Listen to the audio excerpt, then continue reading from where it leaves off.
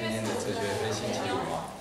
然后我们呃今天可能很多人他都以为我们平常是七点半，所以可能因为可是我们不能留到晚上十二点，平常礼拜五都是到十二点一点哦，聊到很晚的时候，然后中间的时候我们大概的时间就是会提早变成七点，可是七点有个缺点就是有些人可能还在路上，所以就肯定晚一点会到哦，所以。比较可惜，那这个这么重要的题目，其实，呃，我们今天会把它录影。如果没有看到的人，他们至少说还可以呃，在网络上可以看到我们今天讨论。那大家也知道，我们现在目前在台湾，不管是南疆政策啊，还是原住民教育啊，以及原原住民的自决权利啊，都在台湾的民主发展里面，呃，受到一个更高度的重视。那所以今天这个呃，今天我们谈论是以他山之石。然后以纽西兰的毛利人的那个教育跟原文化的复建，以及他们怎么去面向世界这个角度来去参照去看待台湾的未来的原住民的教育以及原住民文化如何从本身的复兴里面，同时在面向这个世界跟他沟通。那我们当然知道文化本身是独特的，是在某些有地方性的，但是文化本身也是普世的。它也可以提供全人类一个很重要的参考，所以，我们今天从这个角度教他来想的时候，就是说，也透过这种呃不同原住民之间交流跟比较里面，可以看到一种共通性，而那个共通性可能可以带往透过个别的差异性，把这种共通性带到一个更丰富的境界。啊，所以我们今天很高兴邀请了四位讲者，等一下我们再来，第一位讲者主讲者。啊主讲者是师傅啊，让我们大家热烈掌声一下。第二位讲者是以真，对，好，来我们。那第三位是比数，比数，怎么念？比数，比数，啊，比数啊，比较碎啊，比数。那要看跟谁比呀？啊。这样会得罪人的。好，第四位是阿关呢，阿关呢。所以我们等一下，他们呃，等一下由师傅来跟我们解释哦，就是他来主讲。我们就先麻烦就师傅开始，谢谢。嗯，呃，那我讲嘛，所以个我不懂你的答所以讲，大家希望大家能够听得懂，不用讲外国的。大家注意，大家阿伯，阿伯，阿伯，阿伯是谁？阿伯应该有听懂了哈。阿伯谢谢。你说的很正确。他翻讲的很好。的确哦，我今天是从那个。有人会说阿美阿美族的首都了哈。开发了，它也是光复乡哦。我从那个被光复的地方过来。那我们今天要谈的主题呢，其实也在谈的是我们我们怎么重新回去光复它。好，我们怎么用我们的语言、用我们的教育去光复、重新建立、建构一个我们认识的人。好，那呃，因为今天的主题其实还是会扣紧在台美之间的那个那个呃。连接嘛，吼，那我今天会呃，就是说前面会用简短的时间来跟大家分享，就是目前从过去呃到现在整个纽西兰的教育自觉的那个路程那个历程，然后从这个历程里面呢，走呃就是呃来谈我们现在在呃花东来说，我们有呃集结一些阿美族的老师，共同去推去建构呃。阿美族的教育是什么这件事情，然后接下来再回到我们的语言这样子，然后再再再呃开放让大家一起来讨论这样。那如果我们提到有些毛利，不好意思哈，就是呃往你们的右边的窗户看会有资料哦。那其实跟台湾原住民的发展比较不一样，那。有些人其实，在呃一呃一八一零年代的时候，其实已经开始有有计划的发展。呃，那时候欧洲的传教士到达一个地方的时候，他会先做呃那个当地的呃语言的翻译，然后出版那个呃当地语言的词典。因为最主要的目的是他希望呃翻译那个圣经。翻译圣经的目的，当然传教士的工作就是要让大家真认识上帝的话语。那如果你如果当地的人不认识呃没有办法阅读圣经的话，呃传教士的工作就会有很大的折扣。所以，呃，过去来说，你会知道，传教士其实有很多的呃专长，比如说，呃，像大部分的传教士有语言学的背景和人类学的背景，哦，所以他们到一个地方，他们其实很快的可以把当地的语言把它做书面语的处理。那，呃，一八一零年之后，书面语的处理，其实那时候的传教士在这开始逐渐开设一些呃学校。哦，那这个学校呢，就是让当地的毛利人去认识呃这些毛利语文，就是书面语的这些这些语文。那其实一直到了一九一八四零年代的时候，毛利人其实有将近一半的人口是呃可以做毛利语书写的。哦，那在在就是在就是你你大概算嘛，差不多二三十年的时间，有一半的毛利人可以做毛利语书写。那相对台湾来说，其实还没有进入到书面语的发展。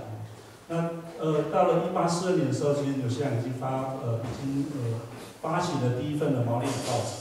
那在这个时候啊，其实在这个期间呢，除了报纸啊，或是相关的出版品以外啊，他们也呃也使用毛利语文去翻译英国的名著，像《鲁滨逊漂流记》之类的哦。那除了《鲁滨逊漂流记》呢，也透过毛利语去书写一些简单的一些论文哦，所以。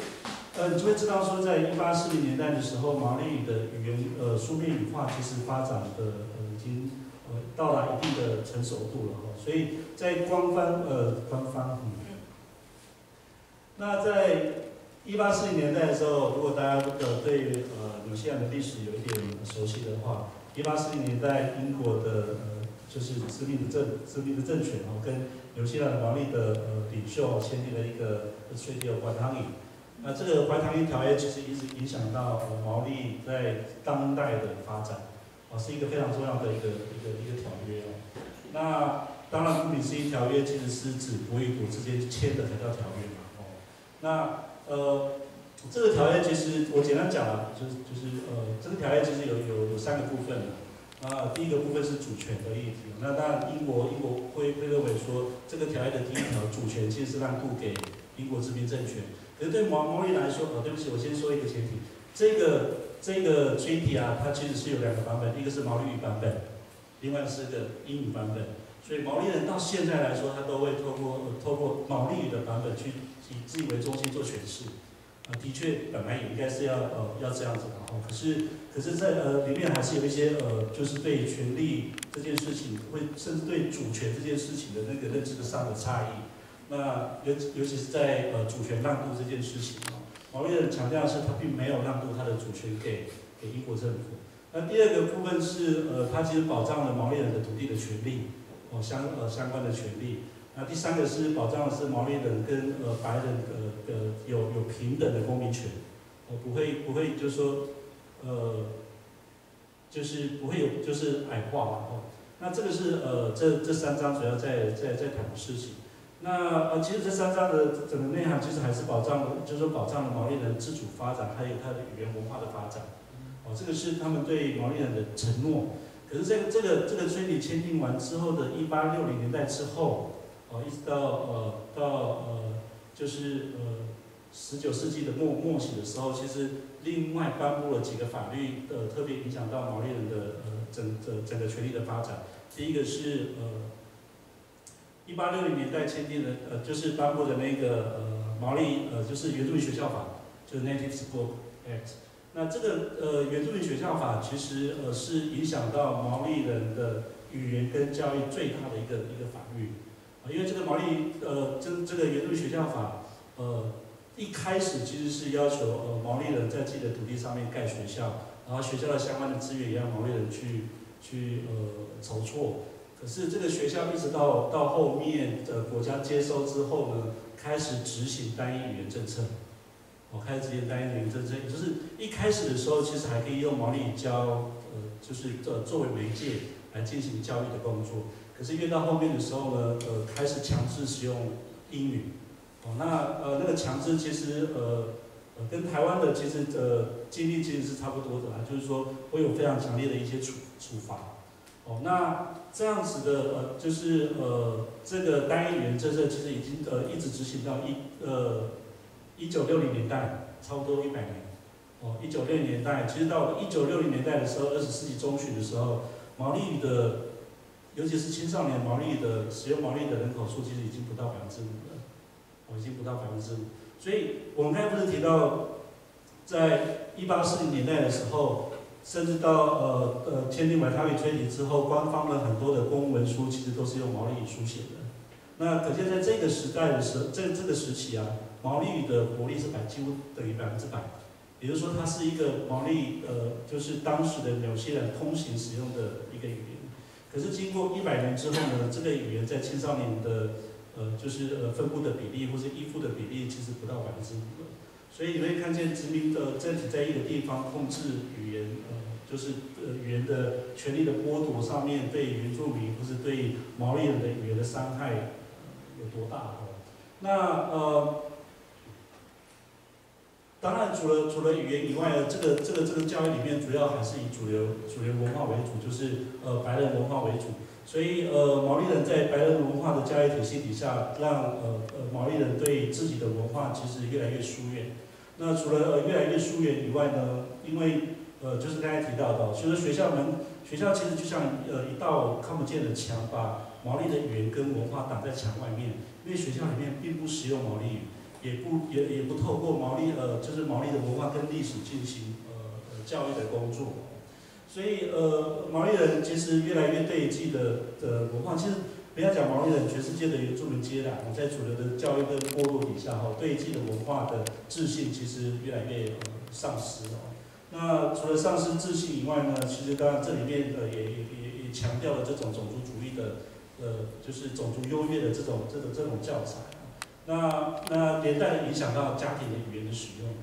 哦，所以你会知道，除了学校的呃毛利语的单语言政策以外呢，另外一个部分是呃我要补充提到的事情是，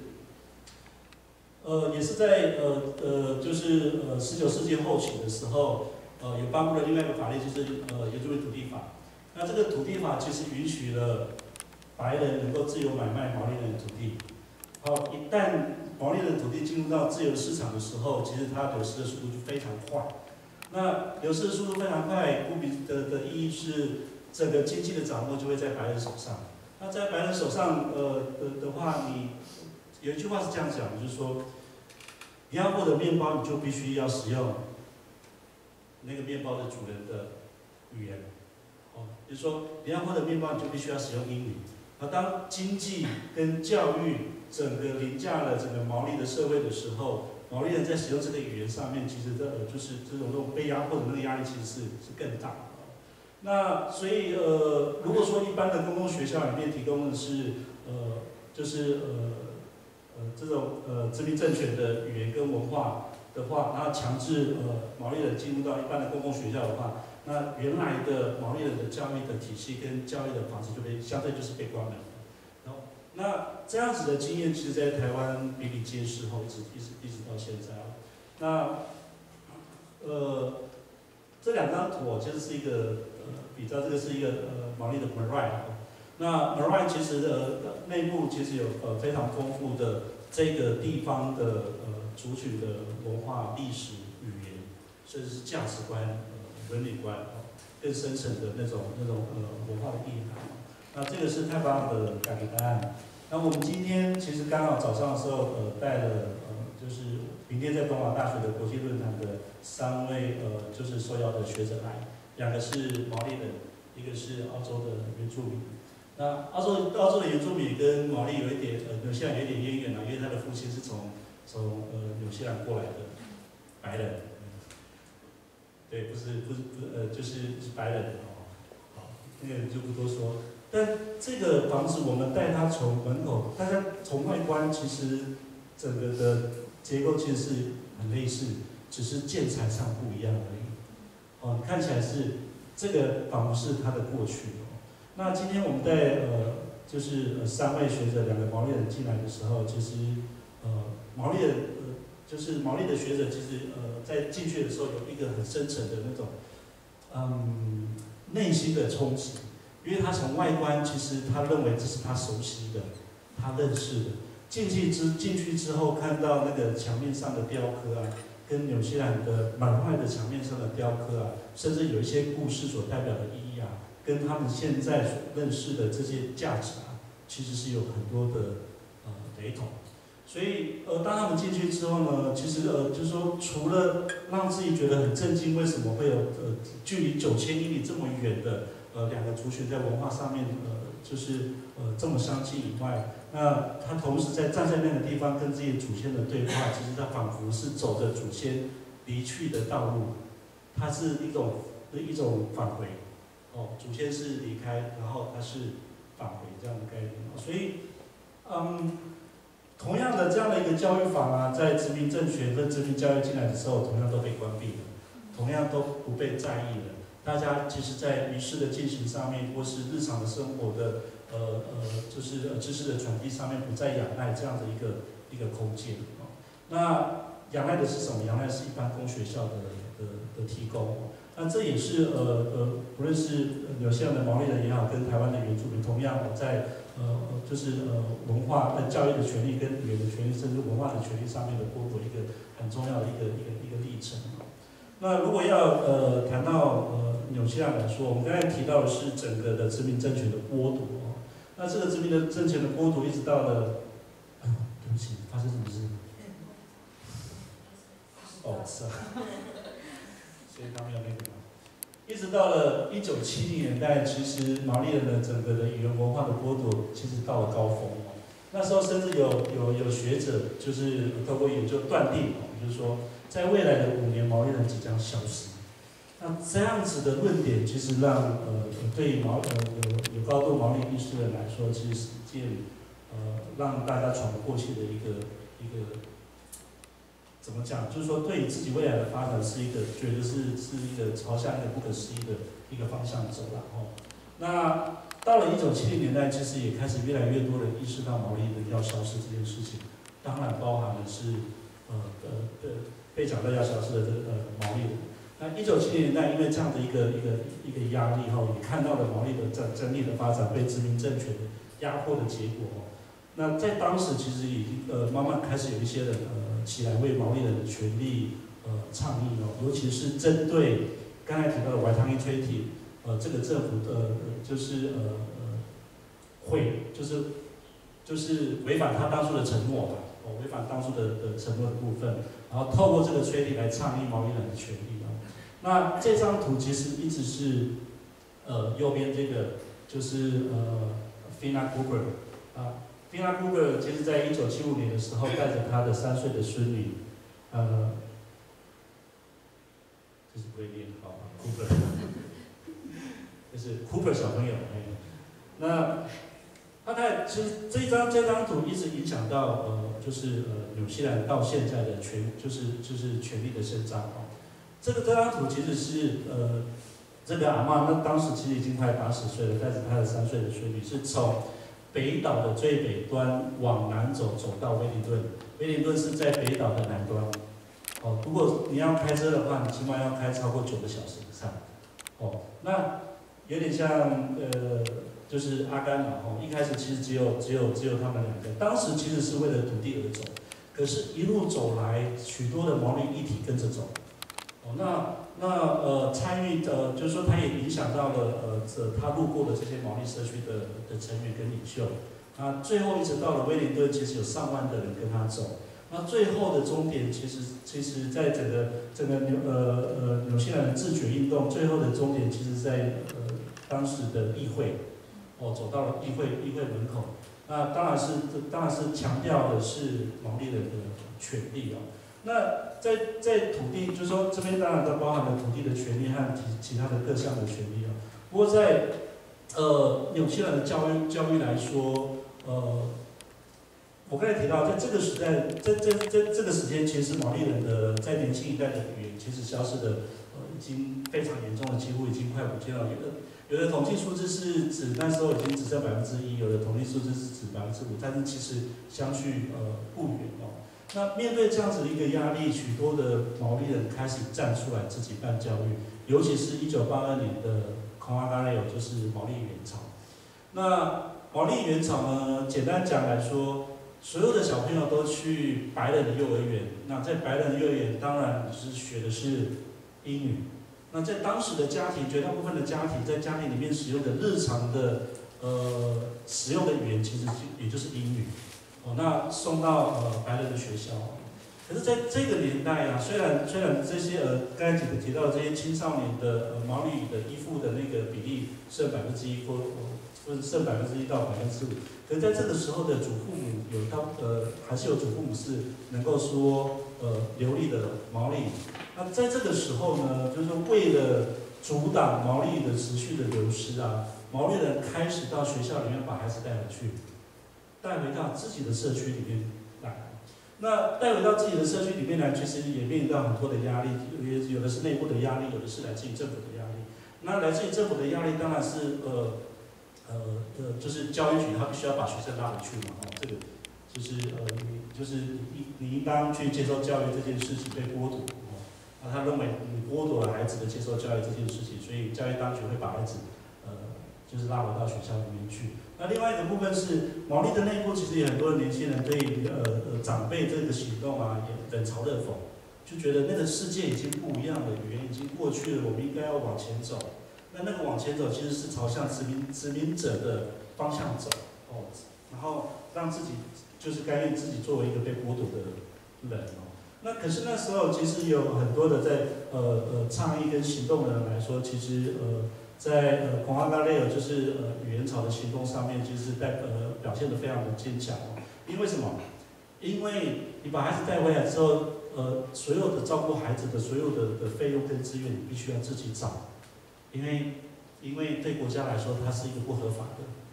哦，它是一个不合法的。那这样的一个行动，一九八二年第一所语言草成立之后，隔年啊，其实成成立了全国成立了一百所。那毛利语言草最高峰其实超过八百所。哦，那语言草它其实一开始不是一个幼儿园的概念，它是一个家族的概念，好几个家庭一起来照顾孩子，全天说毛利语。哦，就是就是就是呃，emerging，就是全天就是就只只说这个语言。那虽然有人说去质疑他们说，你们有没有学有没有你们有没有学过学前教育或是或是幼教的的教学的经验？那你们这样子只会教坏他。可是我觉得那个那个民主的自信哦，这个时候其实让他们呃奠定了一个很好的基础，就是呃他们认为我只要跟孩子提供孩子毛利语和毛利语有关的价值观。跟伦理观、跟背后的知识知识体系，他们认为他们可以兼跟跟养育一个很好的毛利人。其实他的目标是毛利人，呃，而不是主流。就就说，呃，就说，呃，就是呃，概念的不是从主流的角度里面去思考，我要培养一个什么样的一个一个孩子啊？所以，呃呃，达美其实是毛利呃元朝的前执行长，其实就讲了一句话，就是。不要让人呃有机会把你的孩子从你手中带走，的意思其实是你把孩子送到一般的白人的幼儿园，就是拱手将你的孩子让白人带走，哦，但如果你今天让你的孩子再再回到你的体系里面呃学习来说的话，那他可以在你的体系里面正常的被养育成为一个毛利人，好，那呃所以这个时候其实你就会知道毛利的自觉其实透过行动呃。展现展现出来了。那除了呃元朝一九八二年的元朝成立之后呢，呃，随即过三年之后，呃，形成的就是小学的需求，所以在呃一九八五年的时候成立了布拉克帕帕。呃，布拉克帕帕就是曾经是呃毛利小学，哦，它是曾经是跟呃元朝比较不一样，元朝是全全毛利语的，那呃。就是沉浸式，它可能它沉浸的比例可能按按它的课程的设计会不一样。那最高可能到百分之百，它可能是百分之八十或者百分之五十。那差异可能是什么？可能是某一个科目不是用毛利教，其他都是用毛利。哦，那比较可能的科目就是英语课。哎，可是我在夏威夷看到的英语课是用夏威夷原原住民教的呢。哎，这个就是有趣哦。所以呃就是呃一呃一九八五年之后的毛利曾经曾经是小学，那再再接过接下来就是 Te f a l i k u l a t e f a l i k u l a 就是毛利沉浸式中学，哦，接着来这些这些学校的成立其实都在一九八九年，一九八九年之前，那。除了语言潮就是学前教育，毛利的沉浸式小学，毛利的沉浸式中学。那另外一个毛利大学，其实第一所毛利大学在呃一九八一年的时候就成立了，在呃就是老卡瓦呃这所毛利大学。那另外一所毛利大学是一九八五年呃成立。那这些这些这些教这些毛利的教育，其实都是在呃一九八九年之前成立的。好，那。呃，我为什么会特别强调一九八九年呢？一九八九年，纽西纽呃纽西兰制定颁布了纽西兰的教育法。好，这个教育法其实在整个的毛利的呃就是教育自觉的运动上面有一个非常重要的分水岭。那一九八九年之前呢，我们刚才提到，一九八九年之前很多的教育的呃自觉的作为，其实都是必须要仰赖自己的资源。因为对国家来说，你是不合法的，你不是，就是，应该说，你不是国家设立的呃教育体系，你当然国家不会提供资源，不会提供经费，也不会提呃也不会提供你师资等等之类的，你必须很多事情必必须要呃通过自己的行动，透过募款的方式，透过跟家长合作的方式，然后甚至有一些。像嗯呃那个呃 a l t a r o a 这所毛利大学的创就是呃 a t m a 就是创就是创办的其中一个 a t 就是一个成员叫 a t m a 那他们几个其实在过去那种呃在发展困窘的年代，他们其实宁愿呃会愿意的，就是宁，会愿意将自己的房子去抵押，哦获得一些资金来让教育持续下去。所以你就会知道，那个自觉啊，不是呃，我我几个人做这个行动就可以做，他们必须要去面对接下来资金的问题和教育稳定发展的问题。如果你没有办法让教育自觉的过程里面，如果你没有办法让教育稳定发展下去的话，其实你会让自己参与教育的这些人，无论是参参参与教育工作的人跟学习的人，会没有自信，因为那是一个感觉好像没有延续的的工作，因为。这样子的概念其实会回到我等一下会提到我们在台湾面临到的问题。好，那一九八九年其实是整个毛利教育的呃倡议也好，抗争也好，追求毛利的教育权利也好的一个很重要的里程碑，就是一九八九的毛利教育法将我们刚才提到的 k w a n g a l e o 就是毛利原厂，然后呃 k l a k a p a p a 就是陈立斯小学 f a l i k u r a 成立是中学，瓦纳纳毛利大学全部入法，所以里面不会说，不会不会指的是呃毛利呃幼儿园，哦或是毛利小学，哦它其实是全部都是只有毛利来做诠释的，哦就是我刚才提到的这些事情，所以这些这些毛利的代表的毛利教育体系的文字全部进入到整个教育法规里面，那教育法里面其实强调的是。你除了办一般的教育以外，你如果你要办毛利教育，有毛利教育对毛呃对对毛利教育的特别的定义，啊，这些特别的定义其实呃全部都是回归到毛利的文化跟价值体系里面去思考教育是什么，包含语言潮一直到毛利大学，所以这些都是法律规定的文字，哦，所以你未来要创建呃元朝小学、中学、大学来说，你都。呃，如果是在毛利教育体系来说的话，你都必须要依照，啊，就是呃毛利的做法，所以你会知道，一直发展到现在，毛利其实有一个完整的教育体系出来了。从从孔阿嘎雷尔、古拉巴巴帕、巴雷古拉，一直到瓦纳兰，一直到博士班，哦，一直到，那跟一般的教育体系，它其实是呃双轨互通的。哦，那我们回到这张照片哦，这个是。这个是这一个毛利，其实它是一个一个一个综合的学校，从从小学到中学，哦，一直到高中，也类似 K 十二这样子。这个是校长，哦，因为像那个挂科，萨摩亚，就是那个是谁去的？巨石强森嘛，哎，他们很多亲戚哦，有没有亲戚？看起来就是这些很像是在打摔跤的人，其实都是校长。就是，其实我们第一次见面，我们也不觉得他是校长，因为我们对校长来说会有一个，你知道，在在台湾是一个干干净净的哦，干干净净。好，其实他开始讲教育是什么的时候，其实话就会停不了。哦，他就一路介绍我们整个呃呃他们在推动的教育的概念。你说呃呃毛利的教育自觉是不是到了一九八九年所有的学校变成公立学校之后，这个自觉就没有了吗？不是，他们要抵抗政府的做法，还是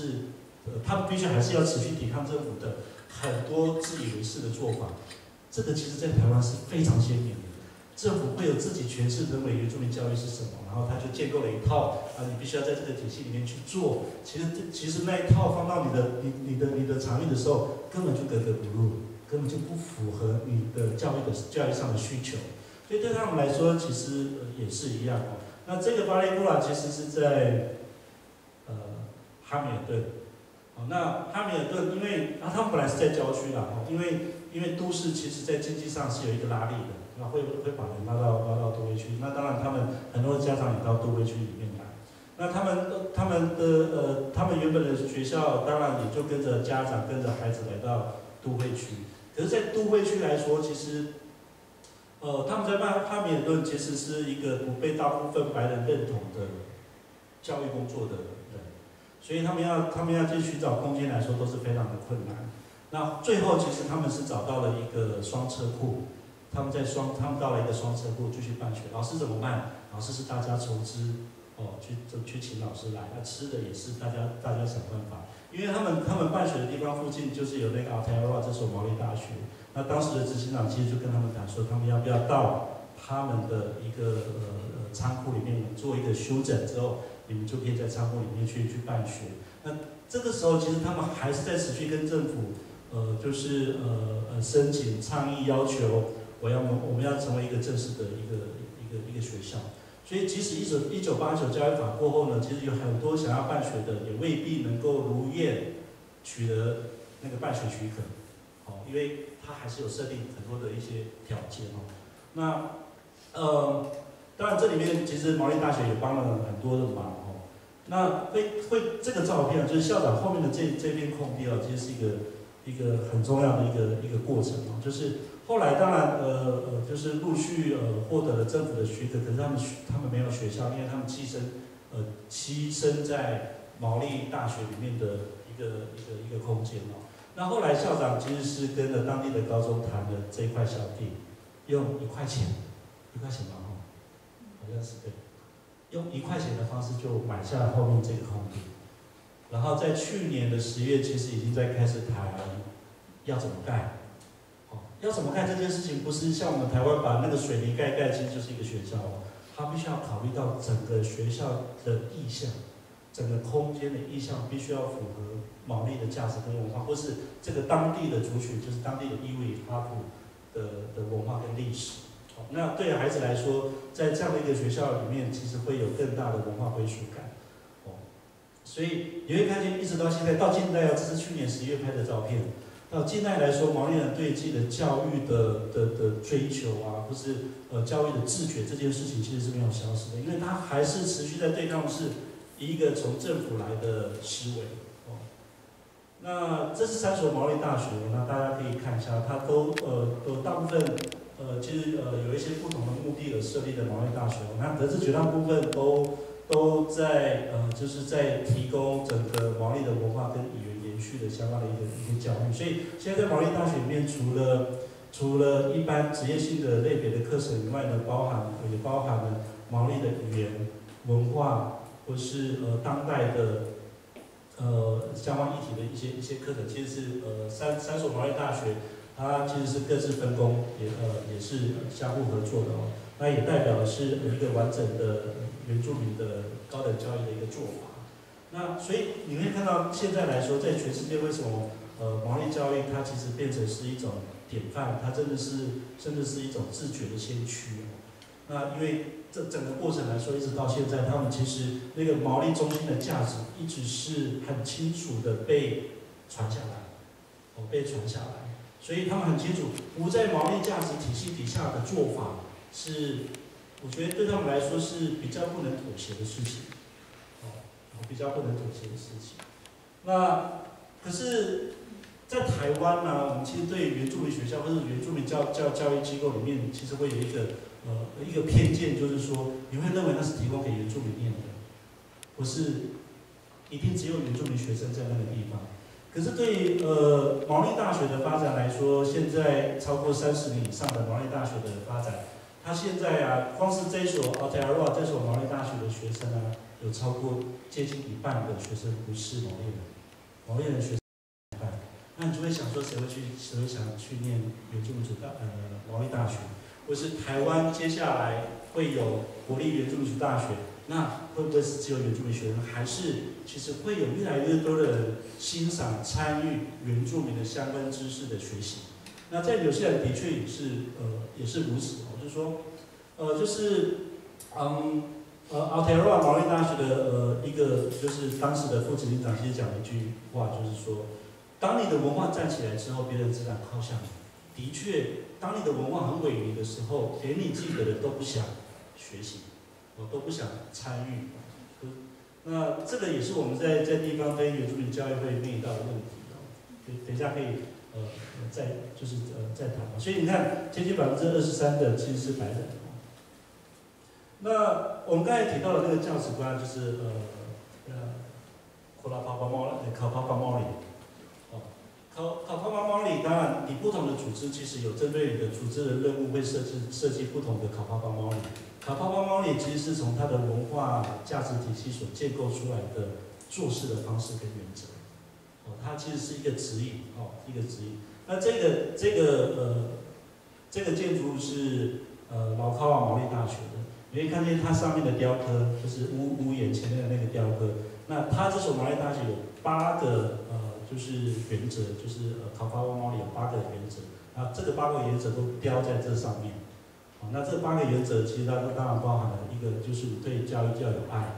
呃，然后这个是一个自治的的的的的行动哦等等之类的。哦，那不同的组织它会设计成呃设计不同的考发发猫里作为你的整个整个工作的呃就是设计的一个指引哦。那讲到目前，其实你会看见，在一个还是以西方白人为多数的纽西兰而言，因为他们现在人口差不多占百分之十五。哦，对，呃，还是以西方白人多数的呃教育体系而言，你会看见毛利人在这种西以西方白人为主的地方，看见一种自己的做法，而且这个做法是非常的鲜明，而且这个做法也不是呃，就是说 不是走向一种本质化的概念，而是与时俱进的发展，他不断的建建构自己的呃传统的知识，在当当又又在当代当代。在当代的应用和有效性，哦，所以你不会是学习一个过去的历史的知识，而是在当代来说，这些知识持持续带领着毛利人往前发展，哦，所以毛利大学或者毛利教育体系所所传授的这些知识来说，它其实是走向毛毛利人的未来，哦，而不是回顾过去，所以它教育的目标其实还是要推毛利人走向成功的一面。但是他是透过他的知识体系建立的一套学习的方式啊。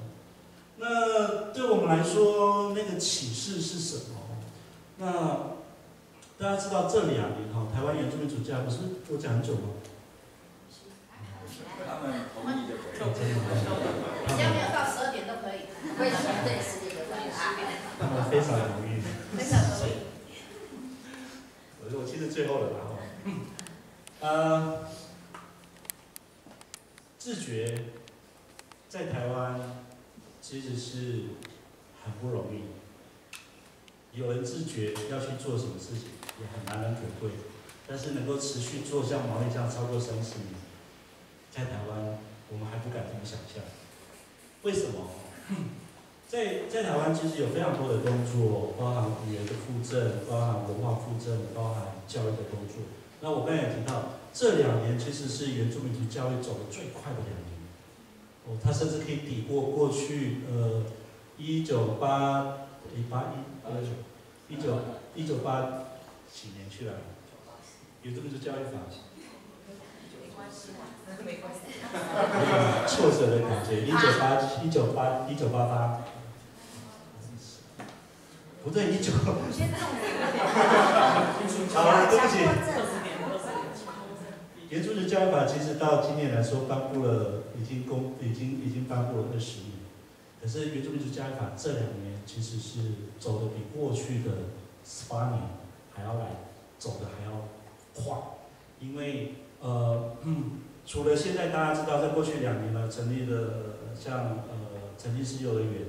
然后呃也透过实验教育三法，呃成立了好几所的呃实验教育，原住民的实验教育，不同族群的实验教育。然后大家知道，如果有有在有在有在 follow 原住民的资讯的话，呃，一两礼拜前那个台湾族的那个那个那个本位的课那个教材，也整个被发展出来了。通过过好像过去的四五年做了这个这个教材。那原住民教育法，呃，从去年开始也开始在修。那除了原住民教育法以外呢，原住民学校法和规划原住民族大学这件事情都在进行。所以你会看见这两年呢，原住民教育其实是特别被关注，然后不论是原民会也好，教育部也好，或者其他相关部门也好，也开始在谈论原住民的呃语言权跟呃教育的的权利的发展。去年呃，我们这边有那个语言推推推动的组织哦，去年六月那个原住民语言语言发展法也过了，然后今年也提供了非常多的一些一些经经费去推动原住民。可是，也可是到目前为止，我刚才提了很多法，对不对？看见台湾其实有很多的事情必须看，他看见了政策，看见了法之后才会动。哦，这是我们现在在在呃舆论社会里面最普遍的一个的的现象，呃，也是一个问题，啊，也是我们整个发展上面，我觉得会是一个很大的一个阻碍。如果去呃去去对应刚才我们提到的毛利的整个行动来说的话，两年前。实验三法在在在开始推动实验教育的时候，我们其实呃对于一个阿美族来说，我们当然也希望推自己的实验教育，因为其他的族群也很积极，尤其是台湾族，台湾族像呃卑南族、布农族这样子。那呃泰雅族，因为第一个成立的是泰雅族嘛，不能忘记佛乌嘛。那我们当然其实我们我们当时其实是呃呃这召集了呃。华东两县，呃，对于阿美族教育跟民族教育，呃，就是参与的深度比较深，或是有意愿的这些老师一起来讨论，我一起来讨论说，我们是不是也开始来来来推阿美族的教育，或是更深的深深度的讨论阿美族的教育应该是什么？可是那个时候，我们其实还是在实验教育的框架底下思考事情。哦，就是我刚才提到的，就是说，我们一直等到了有法有做法之后，我们才在那个体系底下去思考说我们要做什么这件事情。可是我们在谈论几个月之后，发现出现了障碍，因为如果我们在体制内谈原住民教育的时候，其实走不出来的。因为为什么？我们的老师来自于华东，他是来自于各个学校的，集合起来一起来讨论。如果我们今天要推一个阿美族学校，最适合的方式就是把这些老师全部集中在同一个学校，你就可以做到阿美族学校。可是，在在实验教育来说，这个几乎不可能，因为他还是必须通过县当地的的的的县政府的呃，啊，呃就是呃就是聘任哦，就是必须要通过他的呃就是通过聘任的过程，而且跨县是不能聘任，哦，所以它种种的整个架构包含所有的课程的评量，所有的课所有的所有的课程的规划审议，其实都还是在地方政府手上。所以你要办呃实验教育，其实在当时啊，其实面临到的是这些困境。后来其实我们还蛮勇敢的去跳出实验教育的框架，说那我们不要谈实验教育，我们谈阿美族教育是什么？那那阿美族教育这两个字其实又很难找，我们找不到一个对应的字，什么叫教育这这两个字？所以我们开始去重新去去去思考说，那阿美族怎么就是就是就是像毛利的的的的思考的那个那个路径一样，就是说。呃，他们办教育其实目的是要形塑一个毛利的人。那原住民阿美族要要要办教育，那当然我们目标还是那个人。那那个人是什么？那个人怎么做出呃培养出来？不是做出来，不是培养出来。那我们那时候其实透过透过了呃不断的讨论，其实拉了一个词叫做“萨嘎拉当当”。哦，萨嘎拉当当就是形塑出一个人的过程。那目标是马萨当塔外，成为一个人的样子。那那那好，那也很抽象，那到底那个人是什么？所以我们开始透过我们在部落的经验，我们记得我们自己本身的文化经验，或是我们对呃跟呃长长辈的对话，目前来说，我们呃集结的这些大家前面所看到的，然后在在呃会诊归纳的七大项，就是呃翻成中文就是关怀、友爱、赞赏、勤奋、智慧、勇气、沟通。好，这些里面还是有更多的细节。然后这些细节不会只有这样子，因为当我们接触的部落越多，接触老人越多的时候，这些细节会增加，哦，会不断的增加。那这些东西呢，看起来好像是我要培养出一个呃懂得关怀、有爱、赞赏，然后很勤奋、有智慧、有勇气、呃懂沟通的这些这些孩子，看起来好像是一种教学的目标嘛，对不对？可是这整套啊，如果我们用考跨方方力的角度来思考来呃的角度来思考的话，这些其实是也是老师设计课程的指引，它同时也是老师做教学规划的指引。那我们的目标其实是成立一个学校，那成立学校这件事情呢，也会是未来这个学校的经营的指引。你校长要经营这个学校，你必须让这个学校看得出来是懂得关怀的、有爱的、赞赏的、兴奋的。那老师在设计课程里面，也必须是按照这样的一个逻辑下去做。同时，老师必须也是要是一个实践者，实践这些事情。所以，学生进到学校来说，文化不是一个科目，而是进到这个学校之后呢，他就进入了一个文化体系。那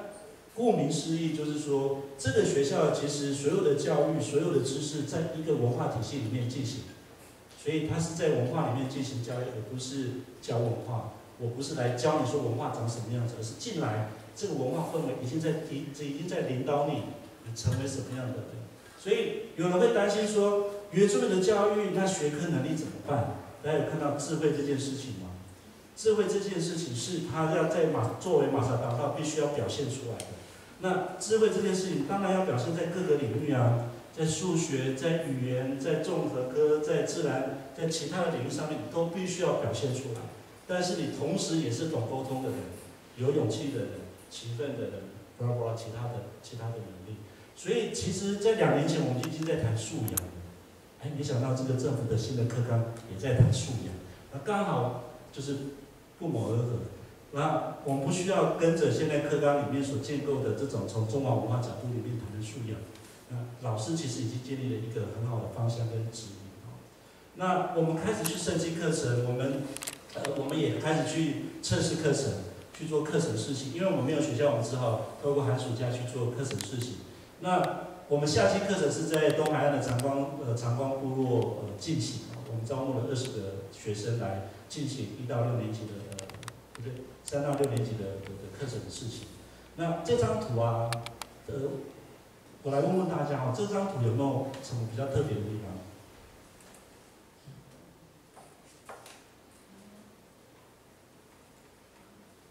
好，因为时间的问题，我就直接解答。除非有带奖品。这张图啊，我们前面不是提到，呃，这些奇力其实导向的是一种有能力照顾人的人。当你的知识越多的时候，你知识必须要分享出去，必须贡献出去，表示你可以照顾更多的人。那这里，嗯。这里面呢，有没有看见大家都拿木头？因为我们的孩子啊，都也得自己烧饭，他们必须要懂得怎么起火，然后烧饭。这里面当然很多的价值，我们就没时间说了哈。有没有看见大家都拿一两根？这个他背的木头，跟是别人的好几倍。这样的孩子，其实在我们的整个的教育过程里面，不断的被赞赏、被称赞。为什么？如果我们说培养一个孩子是为了照顾更多的人的话，这个孩子的木头其实可以让照顾更多的人的需求。当别人没有木头的时候，他他带回去的木头其实是可以满足其他可能呃没有去拿木头或者没有能力去拿木头的。他其实还是回归到一个阿美族的价值体系里面去培养孩子，让孩子知道说这样子能够照顾的人，其实是我们认为是阿美族最好就是成就是成为成为那个人的那个人的目标。所以所以他在他他他再也不是聚焦在学科能力上面，哦，那在整个课程的设计上面呢，也是以阿美族的知识为主体，哦，因为学校里面还是会教世界上其他的知识，可是你知道世界上其他的知识啊，很容易跟原住民的知识进行比较，哦，如果你没有掌握好主体的时候，你的文化很容易会呃会在不经意中被比较。我举这个例子。因为我们这次测试的课程是数学科的时间，哦，时间当然大家很清楚是有一个精准的二十四小时制的一个时间，大家全世界的人都认同那是最精准的、最好的一个时间安排，就是透过时钟。可是阿美族的时间它是一个区间，哦，可能是两个小时一个区间，哦，太阳太阳出来的前后的的的区间，那月亮然后呃盈亏的的的发展，它它它有不同的名称跟名词。那我们在教阿美族的时间的时候呢？如果我们要论精准度，它很容易被西方的时间的知识给比下去。那我们一开始在教的时候，其实老师出现了这个盲点。老师说，老师说，我们的时间其实是一个区间，它是一个比较浪漫的概念。啊，西方的是一个比较精准的概念。它突然，其实我们听了就有点吓一跳，这种这种说法。后来那个晚上，我们再去问老人家更更细节的时候，我们发现阿美族的时间背后是什么？是天文学，是自然科学，因为包含潮汐的变化，包含季节的变化，包含天文的变化，包含呃自自然脉自自然的那个律的律动的变化，都在这个区间里面。所以，当我们在谈论阿美族的的的时间知识的时候呢，不会是只有数学的时间，或是呃呃时间的安排的概念，而是包含的是自然科学的其他的知识，天文科学的知识都在这里面。好，当你具备好一个阿美族知识概念的时候，我们再辅以西方的知识进来，这个时候就不会有比较的问题，而是阿美族去使用外面的知识进来，让自己的知识更好、更大。哦，就是说，呃，不是更好，是说能够让呃不同的知识能够在自己的使用上面能够更顺畅。所以这个时候的主体就不会被比下去。所以老师其实。嗯，我们的老师其实有非常多的故事是跟自己的在现在在教育现场的批判，啊他们甚至是离，就是说我们必须我们要思考阿美族的教育，他必须要先离开自己的呃教育经验，因为他们教育经验都超过十年以上，我在一般的学校的教育经验都超过十年，他必须要离开那个位置，把自己拉出来看的时候，他才看见说阿美族教育应该要怎么做，哦，那。这些老师其实有很多的呃，就是批判，甚至是自我批判，是或是呃解词的经验了。那也很欢迎大家礼拜六的时候来听听他们怎么说哦，就是在呃到东华大学哦。那最后哦，最后就是说呃，我们在这些的在整个教育的实践上面，当然我们还有更多的必须要调整的部分。但是我讲到现在来说。呃，其实呃已经足以说服了一些人，说这套教育体系是可以运行的。但是，我们其实是要一所学校这件事情，在现在的体制内部来说，是一件非常困难的一件事情。你要让老师从花东集中到一个地方，我们昨天国教院才来才来访谈我们，他们也认为说呃很困难，但是他们会想尽办法去做这样的一个事情，所以。这个自觉的的行动虽然没有我刚才讲的是呃不顾一切我们就来办学，因为我们的老师还是要养小孩，然后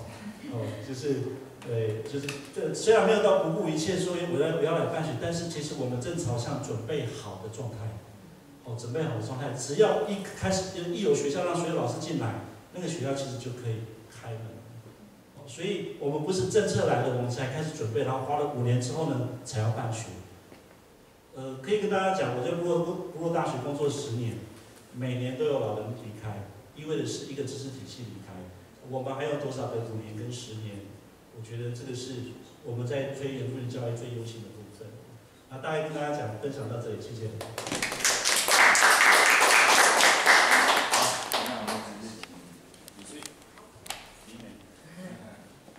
老乖乖，我的岁，来路我啊，必须过来。呃，大家好，我是泰雅族的，我的名字叫比瑞蒙奈。他，我们莱安是父子联名，所以，呃，是我的名字就我爸爸的名字。那想认识我，都要叫我比瑞就可以了。那趁他在帮我弄 PPT 的时候，就是其实我们三个都是各自诶，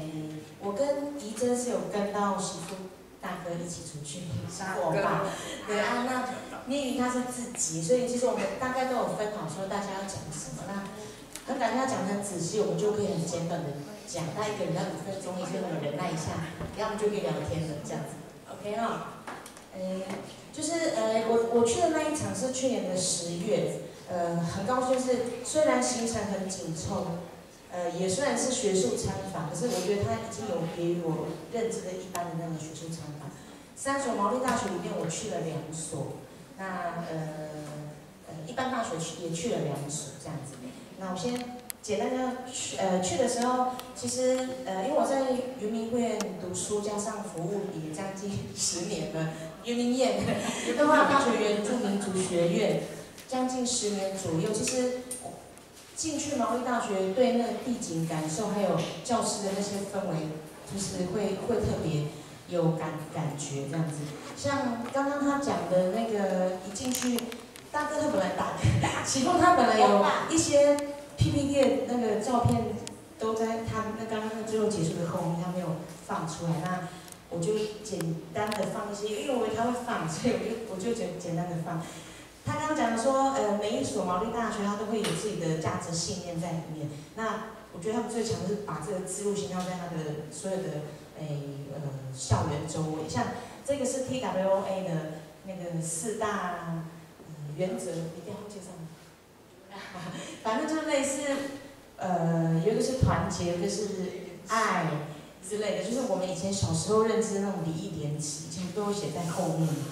没有，他就放在他的每一个教室的角落都看得到。那这是我们进去，他其实这个在很角角哦，可是它就是这么大的扛棒在那边这样子。然后再是，哎，下一个，我必须要涂一点，这边吗？好了，帮我下一张好了。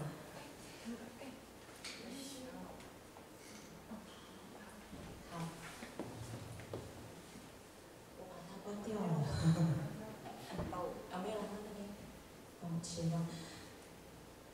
然后他诶，我去的那所 TWA 啊，它其实在呃南北岛加起来，它每一个分点大概有八十几个点。那我那很很庆幸我去了两个点。那其中有一个是我下一张图是去那个汉密尔顿的其中一个校区，就是曾经是中小学的那个旁边，他也是就把这些东西全部画在的墙上，就是以现代的方式这样子画上去。好，没关系。那我就没有接续的讲，就是因为呃，谁去过东华大学读学院的有吗？有吗？哈，有些是校友，我知道。就是你们知道，就是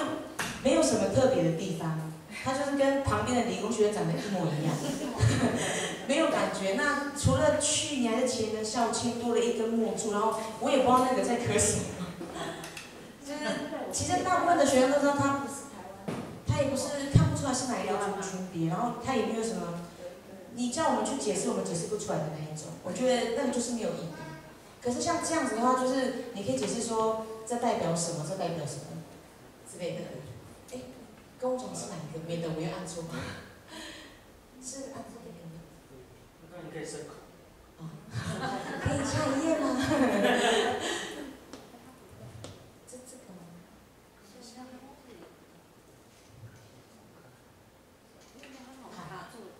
没关系，就是呃，像去这样去这边的时候，我就会特别有感受。像他每一间教室啊，比如说呃，你这边是祈祷室，或者是你是哪什么样用的教室会议室，它都可以对照它的毛利语。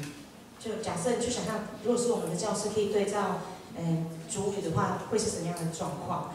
那接下来我们就去了第二所，是那个刚刚启夫有介绍，它是唯一有博士课程的那个学校，它本身其实。就是一个大学，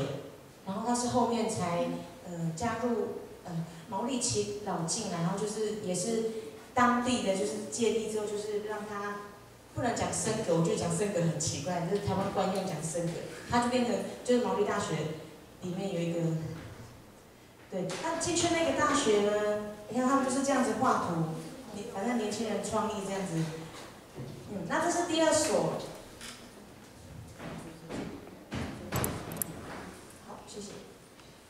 那这是第二首 T W O A，呃，这首歌叫做《阿伦迪阿伦牛》嘛。好，他讲的是正确的，因为是他之后去读学校。然后这一进去的时候，他帮我们介绍，我们就从这边进去做那个彭丽的仪，算是仪欢迎仪式。等下念一定会介绍。他就从这边开始讲他们的故事，就是巴巴家族如何汇汇集在这边。进去的时候，他就叫我们先仔细注意上面对面那一个，你看，这个，他就说你们先看着，我等下再跟你们讲为什么这样子。然后等到太阳比较大的时候，他叫我们出来看，就是这样。这是一个州，它就是一个他们那个巴巴家族那个州的那个意象，他就开始讲故事，就是校园里面要这样的意象，就是很容易让我们。像刚刚讲的文化归属感，学生其实会很容易这样。而且假设每个学生都能够带这样的导览的话，其实他自信心是会建立起来的。这是大学哦，然后这是他们的图书馆，呃，嗯，旁边，不过它就是整个一个校校学校园里面。这是一个阶梯，然后那个齐老们就说叫我们坐中间，做成这样子。他说以前他们老人家在讲，呃，讲。传承一些故事的时候也是这样子的做法，它就是州里面他们的设计是这样子，所以那时候在经验经历这些，他带我们的无论是导览或是每个教室，他都会有他的设计的那个什么呃想法在。我那时候非常惊艳，因为目前为止至少人家可能在认为说东华民族学院它是一个应该是对我很多人的想象都会是这样子，就是到一个地到就会确定是嘛，不像我们进去。像我们，我这样批评学校好吗？哎，对，看到兔子啦，这样天花板，然后其他什么都没有啊。对，就是。还有很多鸽子。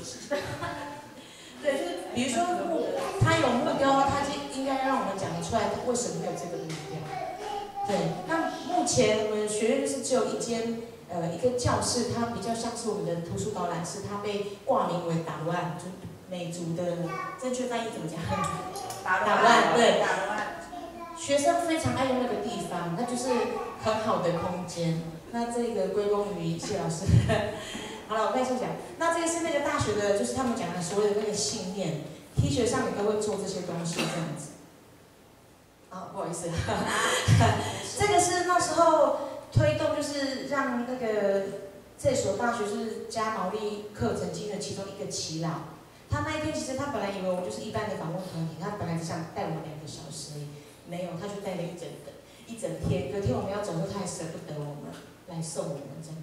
那我觉得很好的地方是在你从他整个那个我们参访的过程里面呢，你看校方的态度就是非常尊敬他，什么都先问他。然后比如说他陪我们走一段本来是小小的一段路，他说你就回去休息吧。他说不要不要，我觉得他们这群人好像应该很得他的演员，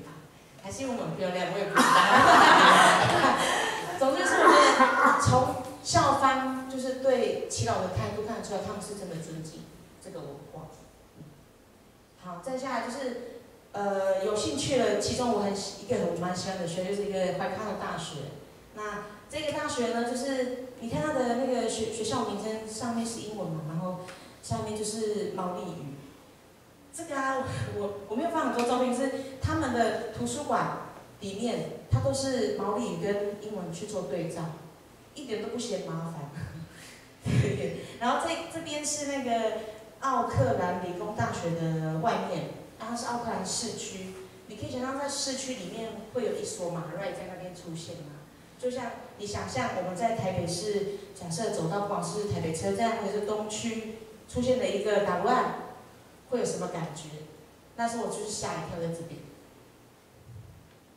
它这个是这个不是重建的，它应该是创创不是重建，反正是它就是做了一个在校园里面。可是你从外面一看就看得到这个建筑在这样子。然后这个就是我讲的那个英文跟主语对照，这是电梯哦。然后就是反正就是它会这样子对照。那其实这个状况啊，从我们一下飞机进了那个呃奥克兰的机场，我就有发现这个现象。那我们之后是先到了毛利大学，我以为只有毛利大学这样子。等到真的去进入到一般大学的时候，我就真实的吓到，我说怎么可能？就是什么标示都是主语对照着我们的那个英文这样。因为在走的当下，你会去想象说，假设东华大学，好，台湾大学。是不是也都是这样子？如果他可以对照到不是很好，不，并不是说我并不觉得一定要什么十六族全部放在旁边，可能真的太庞大。可是至少我们这一区的人，比如说台中的泰雅族啊，是不是泰雅族，我们就可以放，无论中国的、你要用也可以，就放一个泰雅族。屏东区还是有台湾族跟卢凯族吧，就类似那种概念。像新北市，他就很需要有阿美族的对照，我自己会这样认知啦。然后再来是，我快结束了，就是这个是我之前这哎。这是 TWA 里面的那个算是马乱哈，就是让我们住宿的地方。这个是他们上课的学员。我为什么故意拍这样子？呃，是因为我觉得就是之前自己办了那么多场的很多有关于不管是主语或者是文化的演习啊，我有一个感受就是，大家越到后面要求的好像就已经不是教学内容，就是那观察点，对。就是我觉得这个是我们还要好好要去思考的一件事情，就是他们是用这么简单的方式，一个床铺，那都是我们自己搬出来的，那个单人床铺，然后棉被，他不会去要求这些，他就是重点在他上课的值。可是我我觉得我们已经越来越走走偏这个方向，然后那时候我就一直想说不要放这些很像不好看的图，是我们要应该要去想这件事情是。是不是要把，无论是把这个课程正常化，就是不要像，为什么会一直会有现在我们讲说什么大家都只顾什么餐点，其实很多老师们的那个言行都是这样子，就是因为你都是给厂商标嘛，所以，对，所以厂商他就是用那个去吸引你，就是我们应该要去想的是，我们来上上这个研习要学的是什么，而不是。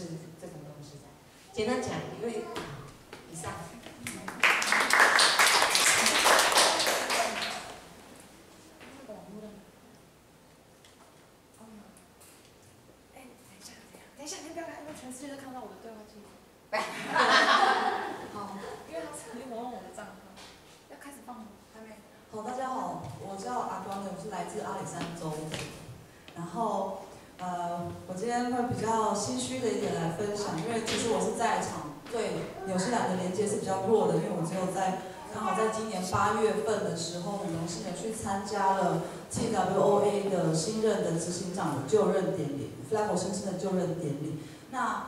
呃，我上一场的座谈会我是用口述的方式，那可能描述的不够生动，所以我今天就是直接请大家看一个一小段的影片。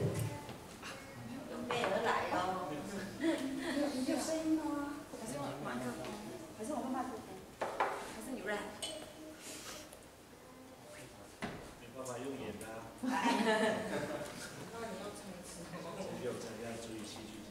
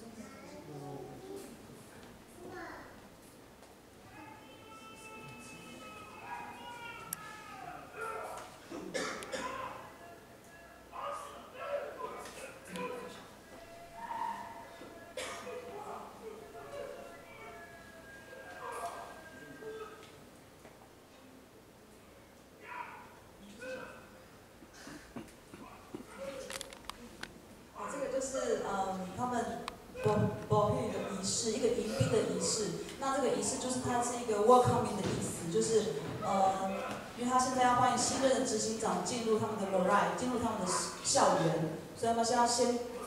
先举行这样的仪式。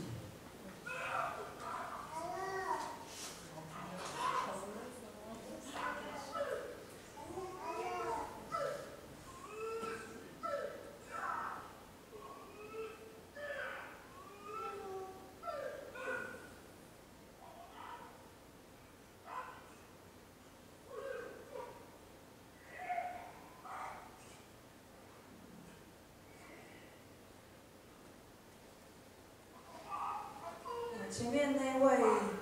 两只手放，呃，对，现在出来这个就是新任的执行长。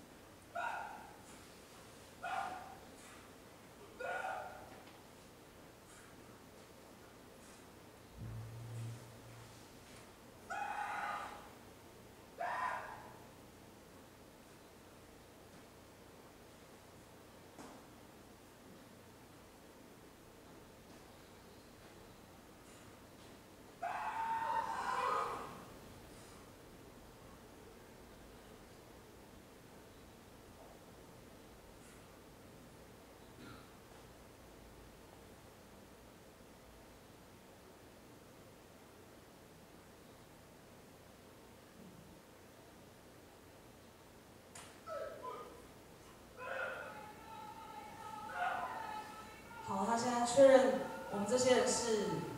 朋友、是家人之后，然后他现在让我们进入到这个校区里面。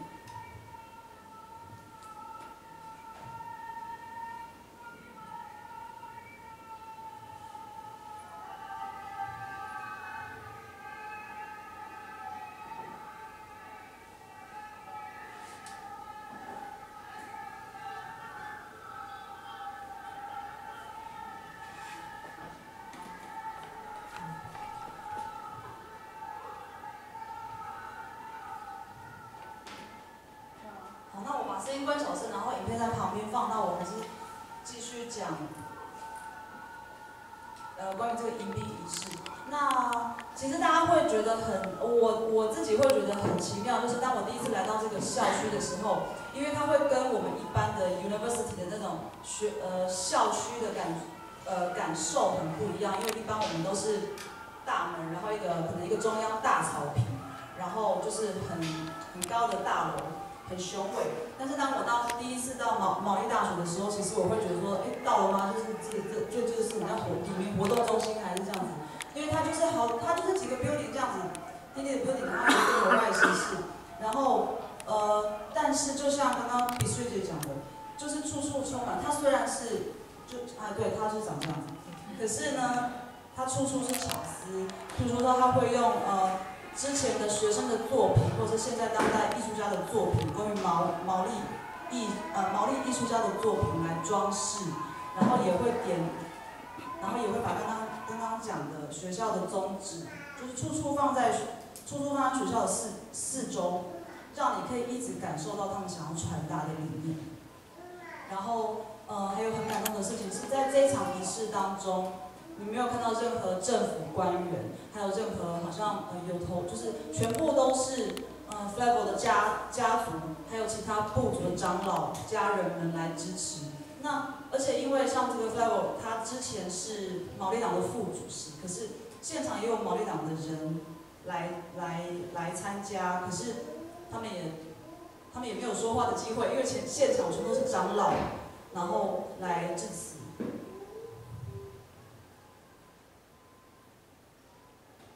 我这一趟旅程的爆哭最高点就在这里。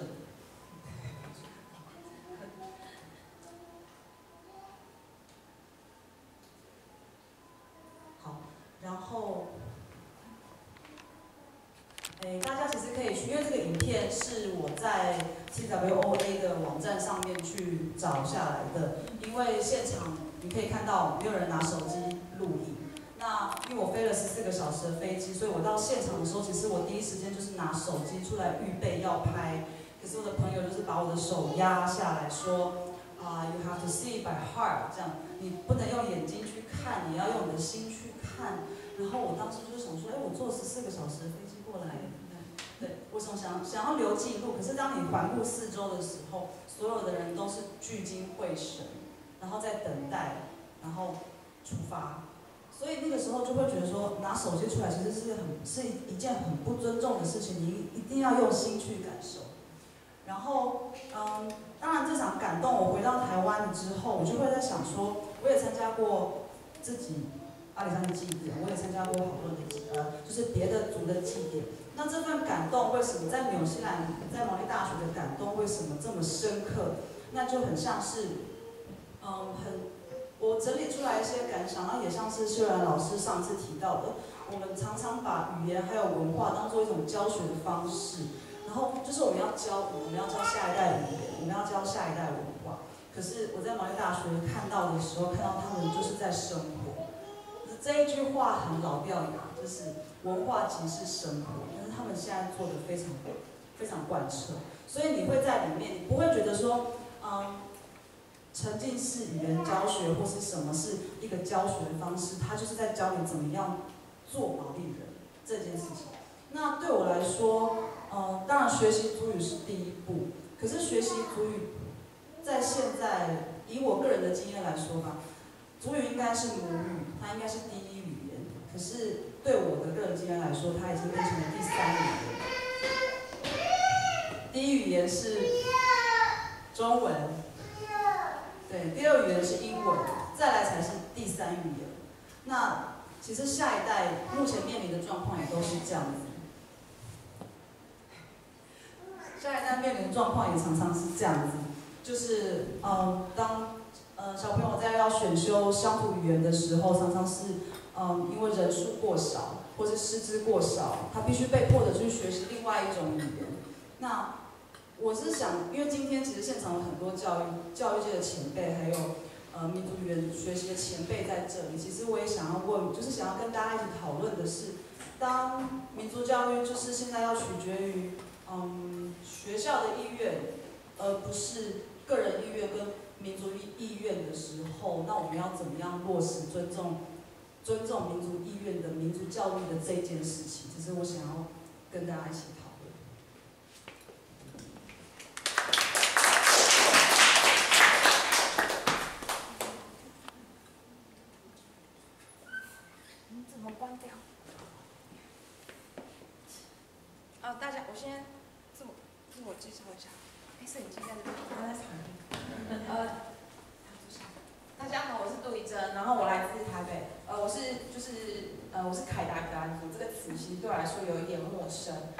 我的老家是在那个，不知道大家有人在台，居住在台北应该知道松山机场旁边有一个塔悠路，就是唯二台北市的两条原住民的道路，就是刚好可以说明了我们来自的地方这样。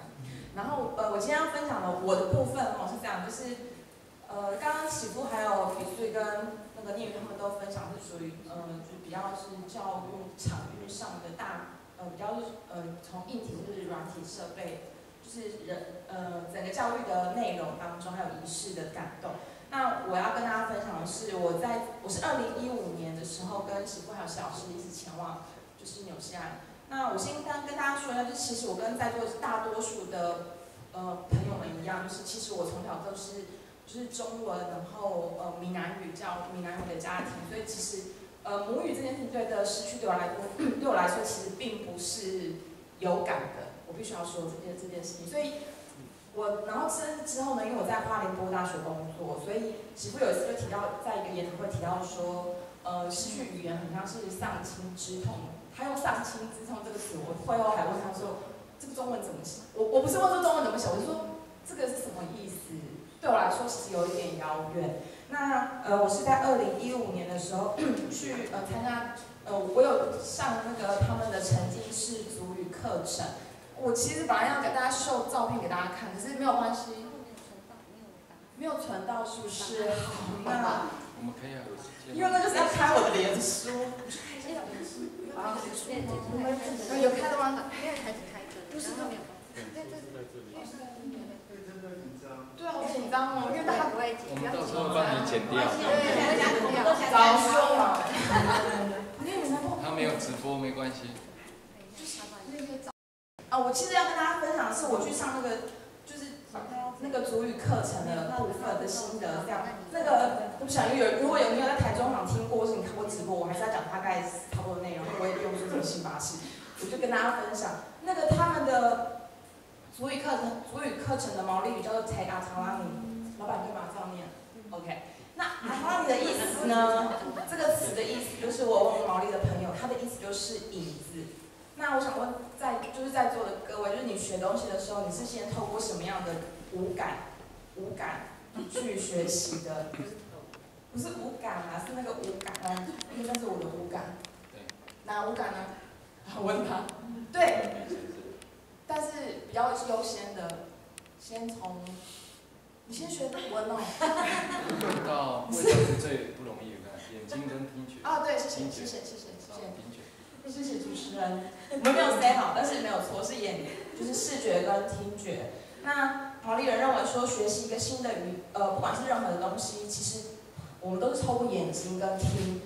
所以就像你的影子，就像一个影子倒映在你的脑袋里面这样的学习。那我们去那个课程里面呢，就是呃，它的整个。整场里面，就唯一你只能讲就是毛利。可是你人是就是一种狗急会跳墙，这时候不不小心你的英文都会变得非常好，因为你只能讲毛利，可是你不会，所以你就认为你会讲英文。可是，在在那个场域是你不能讲英文，你也不能讲英文。所以我，但是我觉得，呃，不知道大家有没有学过一个，就是在一个场域，如果我们今天只是讲一种语言的时候，不知道你会不会有一种害怕，是被笑的害怕，所以以至于你不敢开口。但是那种场那种场域其实让你有感觉，有一种莫名的安全感。我其实蛮想要秀个照片，就是大家全部包围在我旁边，但是我觉得很开心，是有一种就是好像一起去陪伴我们去学习新语言的那种安全感。可是那个陪伴不是只有一种呃互助的安全感的呃气氛的营造，它其实也在陪伴你面对一起去面对对于新东西学习的恐惧。所以我想这个是在那个场域里面，呃，我我觉得我在我们最大的感受是。我透过这样的学习，然后虽然我二零一五年去，我今天现在看的照片，我还是不记得我当时学了什么。但是我印象最深刻的就是那种彼此互相支持的安全感的互助的那种那种呃友善的态度。那我觉得反过来可以看，刚刚呃前面呃媳妇还有就是呃两位他们提到，就是我们在所谓的教育场域里面，我们有时候对对于一种。不管是不是新的任何一个语言的学习，或者新的文化资讯的学习，其实我们抱有的其实那个态度，或许可以用这种方式去，呃，去重新去思考，我们是怎么样去对于一个所谓的尊重的这种态度。我们说要尊重多元的时候，这样子在台湾的当中我们可以如何的发挥？然后这是我我第一个想要跟大家分享的，就是有关于沉浸式语言当中我看到跟感受到的一个情况。那第二个我想要跟大家分享的是。我们呃去上课的时候，因为我们有去去参访一个社工啊，还有戏剧课程，呃，其中有一个是，就那个戏剧课程，如如果那个喜福大哥你还记得的话，就是 我们那个戏剧课程，它是很像，呃，它的课程里面有一个，它它那个课程是戏剧课，可是它是透过毛利，它是用毛利语。他诠释的剧剧码是，你们认为学生应该都想要演什么样的剧码？在那个呃学生的舞台当中，戏剧系里面，他们通他们的剧本都会想是什么样的题材？小甜甜，或者是大合剧吗？我一开始有点傻，我自以为自己经过什么，我就是以为是莎士比亚，我以为是那种，就是我想哇好棒哦，演莎士比亚，就经过翻译。因为英文也不好，我是英文也不好啊。就是经过翻译之后，发现原来他们演的是过去怎么样被西方殖民的历史，但是它是用毛利语全程。老板娘知道对，就是有一个这样的课程。然后我觉得这是呃有一点有趣，但是有点冲突跟讽刺。对，这是我第二个想到，就是在那个场哦，对对对，大家看一下哦，那个我们没有骗你们，就是我们真的去上了一个，对，有两位，哦，对不起，有两位。然后呃，对，就是我们他们是透过就是随手可得的积木或者是图卡，然后在那个场域里面，不管是舞蹈的传递或是分享字句字词的呃学习语言当中这样子的方式去呃去透过这种方式去去产现。那这个就是我刚刚说的，就是那个他们是用毛利，他们的语言是使用毛利语言，然后但是他们的剧码却是演过去演的是过去西方殖民的时候的那个历史的那种就是。大合剧，然后，还有吗？哦，这个是我其实想要表现给大家说，其实那时候真的会什么手啊、手脚都会出来了。然后，但是你就是想进，那你看我我的左边是一个毛利人，然后右边那个阿飞，他其实看起来我不太确定是毛利人，可是呃，他一直在我们学习的时候，我印象非常深刻，就一直他一直想要缓和气氛，然后一直想要弹吉他给我听。可是我真的没有很想，因为 我就是听不懂。但是他就是很很友善，很友善，我很感谢他。然后这个就是我们在那个场域里面，就是呃的一个影像，就是一个体验的部分。那这个部分其实我们也有带回来台湾，就是呃还是要跟大家不小心秀一下，我其实我的主语老师是媳妇的女儿，不是她，是她的小时候她女儿五岁，现在几岁？六岁的女儿。那为什么我的主语老师阿妹语的老师是她的女儿呢？是因为我们就是因为那小朋友都是。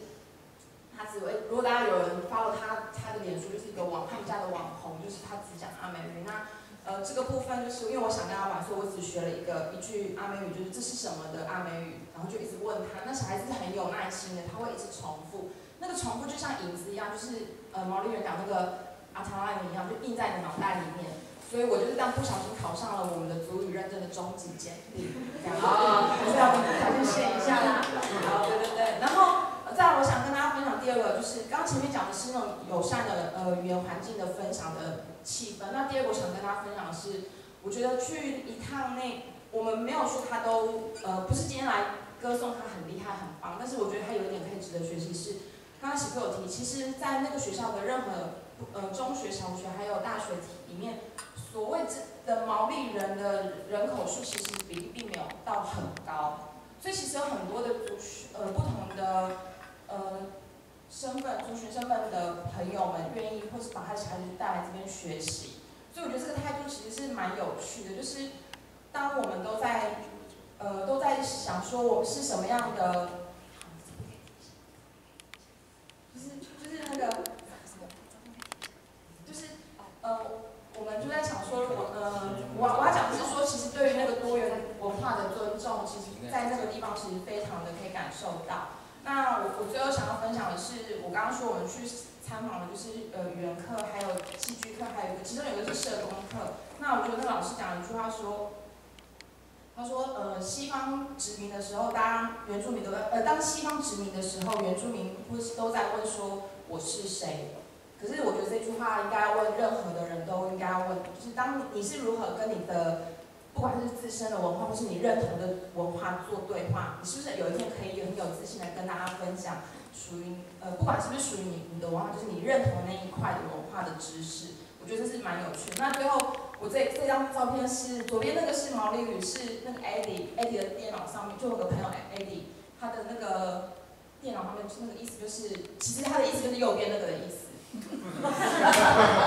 是是对不对？对啦。我打电话给他，对他，他就这是一个巧合。然后我们那时候是因为我我跟谢老师还有那个喜峰，我们第一次去牛山，然后我看到这个就还蛮兴奋，就哎怎么那么巧？就我们其实在做的有点像是文化运动的事情，不管隔这么远，但是那个共鸣度跟互通度其实还蛮相似的，所以我觉得很有趣。然后刚好喜峰今天也跟大家做这个分享，那这是我的部分，谢谢大家。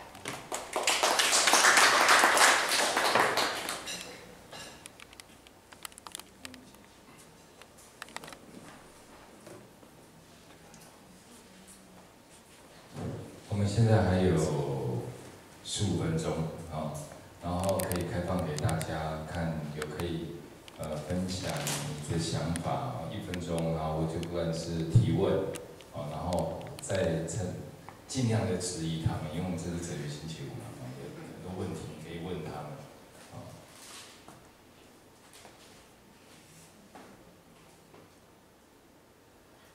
来，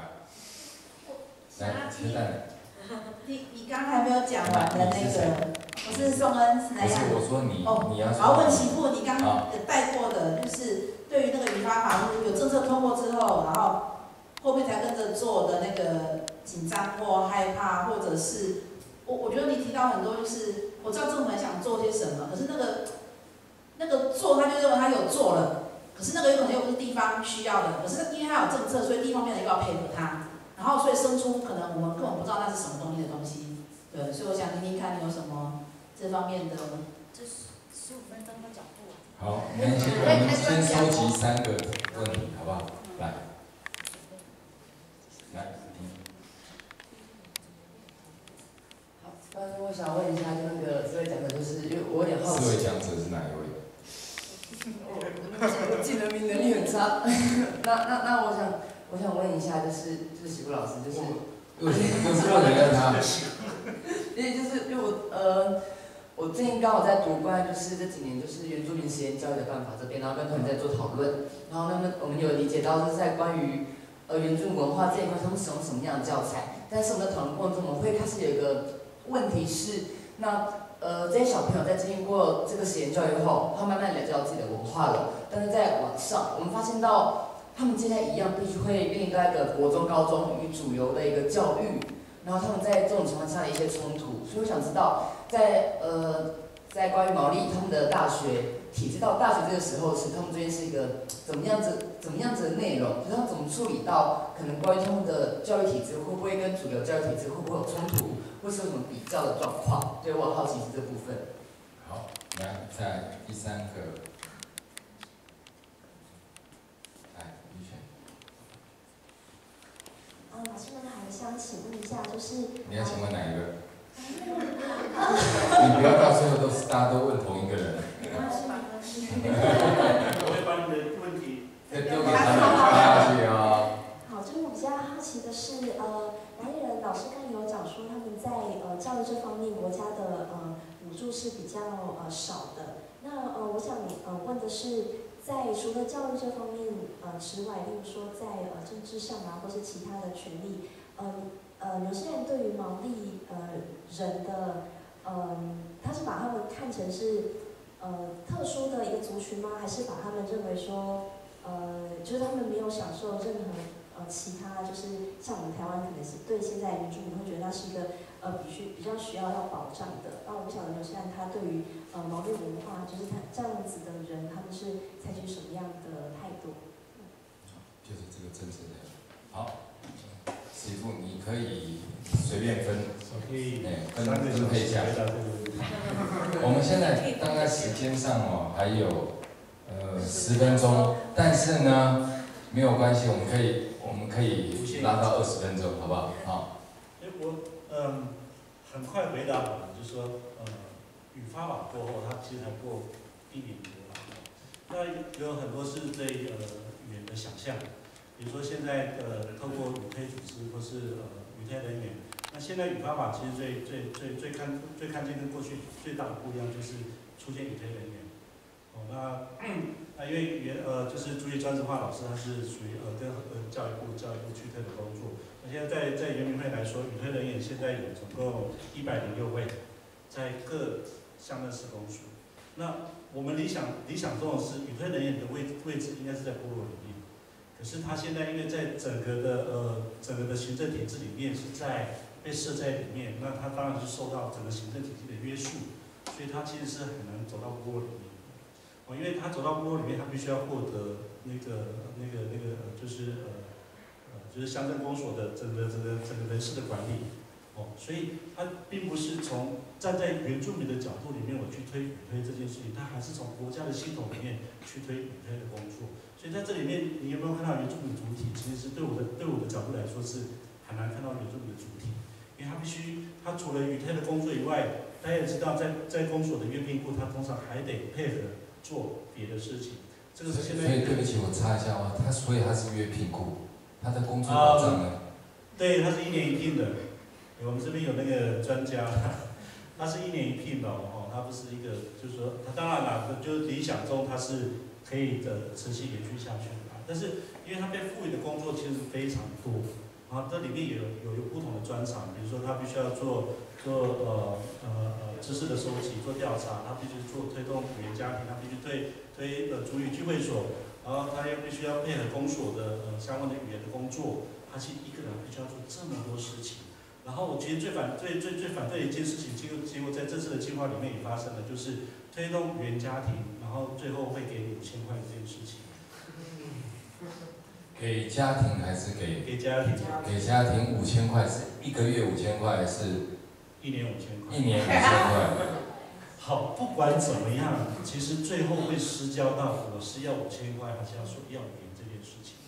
那另外一个部分是，其实，在语推的工作里面，在纽西兰里面，它是非常强调的是语言意识的经营跟管理。好像呃呃，他们会他们会透过他的媒体，透过他的宣传的方式，像类似这样的一个宣传的方式，让大家不是呃毛利主语周或是主语业，让大家知道说毛利语的存在的价值跟重要性。他其实不断的说服对内说服说毛利语学习毛利的的的的重要性这件事情，然后去引动大家去学毛利这件事情。可是到目前为止，我们在台湾的语态的工作里面，这一块反而是最弱的。我们其实如果你今天看了圆明台看了三个小时，你可能没有没有你看不到任何一个节目告诉你说说主语很重要，因为怎样怎样怎样怎样。所以我们在在在整个语言宣传上面其实是非常不活络的。那你也造成这些语推人员最大的痛苦，就是大家并不想学，然后他又得做这些这这些工作，所以呃，我就觉得说那个主体没有办法回到原住民身上的时候呢，我们怎么去引发大家去做这件事情？我觉得最大的问题在这里，它还是在这个制度里面。回到那个那个那个那个呃呃实验学校，其实呃问题也在这里，很多很多其实还是在呃体制内的制度里面互相牵制。牵制的做，那你说呃毛利的整个的教育的衔接，其实是我们刚才看到的是从他们自觉里面就看见了教育衔接的所有的工作。那你说在这个体系里面能不能能不能到别的体系里面？当然可以。哦，它是一个双轨，然后横向的，你可以到别的别的教育体系里面去去念书。所以嗯，其实我 PPT 有一张。就是他其实是从呃语言潮语言潮到曾经是小学到曾经是中学，最后他念的是外卡头的呃呃呃呃外外卡头大学里面的呃原住民学院，所以他不是在毛利大学里面的的的科系去修博士班，所以他其实是可以呃横向走。那你说？你说我们到底就是说，从原来的教育体系到另外一个体系里面，会不会有适应的问题？其实，在我们在谈阿美族教育的时候，我们其实也会有这样子的提问，问自己说：我们现在在处理小教的时候，那接下来他毕业怎么办？他是不是要招一般的一般的中学里面去？他会不会出现适应的问题？我们其实，在提在提的是事情是，整个的所有的学科领域的教育，其实还是跟。跟呃整个国家的教育的课纲是是所有的进度是是跟着走的。我们强调的是养塑，就是塑造这个人的价值观跟人格，如何让他是在教育里面被实践出来。所以，当你到国中的时候，如果就说国小、国中、高中的时候，那个人格被塑，就是塑造之后，我相信在任何一个领域，全世界任何一个场域，他其实都可以表现，呃，就是可以表现得很好。所以。呃，原住民的教育的目的不是，就是说，呃，一方面不是不是呃为了本质化，那另外一个当然是就是我刚才提到的目的还是成功。那他在各个领域都是都是可以可以成功，但是他很清楚他自己是谁。所以，嗯，他即便是到另外一个教育体系，其实呃，他他过去的养成的过程里面，可以让他有更大的自信去面对接下来的挑战。我觉得民主教育的价值在这里。呃，不是，而不是我创建一个一个封闭性的一个一一一个教育，然后让自己走不出去，这个其实不是一个教育的目的。那谈毛利的权利的实践这件事情啊，其实你应该问那个旁边的，旁边那 个，你还没发言。等一下，他来补充一下好了。嗯，我自己的观察哦，就是当然刚才刚才提到毛利的权利，其实还是毛利的自己走上街头争取的。但我刚才其实很很强调是怀他一吹体这件事情，怀他一吹体就是说毛利人如何从这个吹体的重新再解释，然后呃再加上就是说世界呃原住民权利宣言，就是呃从从世界的这种原住民的各项的权利的实践这件事情的追求，我觉得是一件很重要的过程。我我觉得对毛利人来说，他是一个勇敢踏出去，那当包含土地的返还，呃就是说呃加上刚才提到的。这几个大，这这这这整个毛利教育体系来说，它其实不是一个透过政府的教育资源的分配，它其实是一个赔偿的概念。它对过去对于毛利教育、毛利文化、毛利语言剥夺进行的一个赔偿。所以，呃，如果你从赔偿的角度里面的话，它其实就不是一个政府的施舍。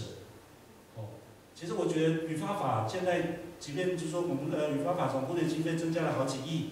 可是，如果这个好几亿还是从政府的角度里面去提供的时候，我们会看不见这个经费实际上对原住民来说是可以从自己的主体里面去思考，我要负在语言的价值。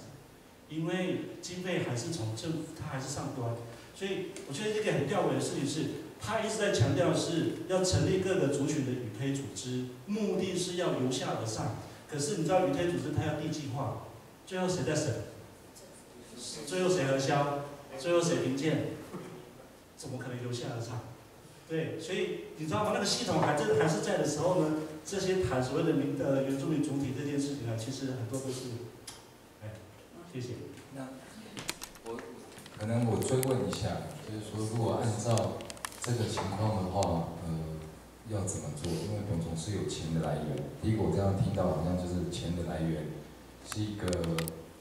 很重要，现在都在掌控在政府手上，他做这钱的控制。那刚刚你也提到一个，其实是自觉是最重要。那比如说民间其实是最应该去做这件事情，而不是